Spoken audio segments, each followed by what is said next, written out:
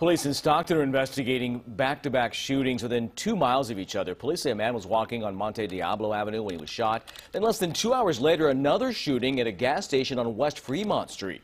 The victim was pumping gas when someone pulled up next to him and opened fire. Both men were sent to the hospital, but they're expected to be okay. No word on whether the shootings, although close by, are connected.